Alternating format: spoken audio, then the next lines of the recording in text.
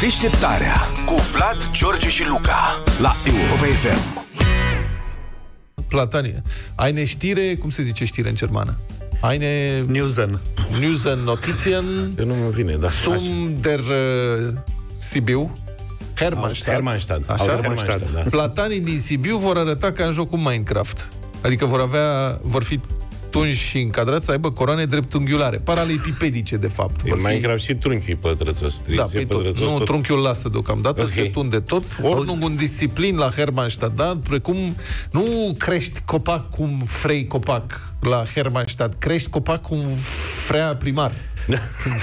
Îi face roboți, practic. Avem un robot plecat din Sibiu. Mă, nene. Deci, stai mă, ăștia asta vor să facă. Deci, o să fie cum sunt, cum ți-am zis, cutiile de lapte, ale verticale, așa, știi? Mhm. Alea, le, numai că pe verde și cu frunze. Da.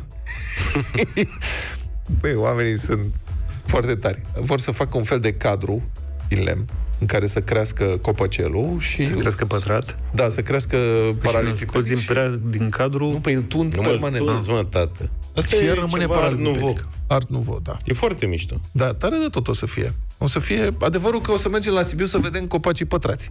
Că așa o să spună, o să spună nimeni copaci paralelipipedici. Corect. O să fie copacii pătrați. Astea Pătrățoși. sunt. Da, există sunt mulți uh, politicieni care au o anumită, cum să spun, le place pătratul. Capul pătrat. Nu se fac cap pătrat. Când eram mic am primit din PIF, PIF dădea gadget. Da, da, da. De-abia așteptam pe să văd ce gadget au băgat. Și au băgat, tu ai primit la care făcea o cubice? Nu. Băi, au trimis un dispozitiv Așa. de plastic care îți făcea ou fiert, îl făcea cubic. Serios? Da. Deci fierbeai ou foarte tare. Uite, asta e un gen de jucărie. Eu aș...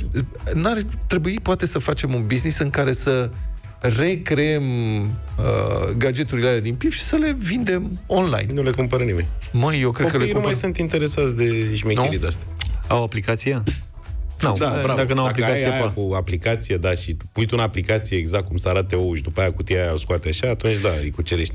Dar acum, în calitate de persoană preocupată de gătit, pe cuvânt că mi-ar plăcea să am un dispozitiv de la de făcut Asta da. ouă cubice. Se fierbea ou, se cojea și cât era cald, se băga în cubul ăsta care avea o presă mică, știi? Cu un fel de șurup, ceva de genul ăsta, se apăsa ușor uh-huh. și după care îl băgai la frigider, în presa respectivă.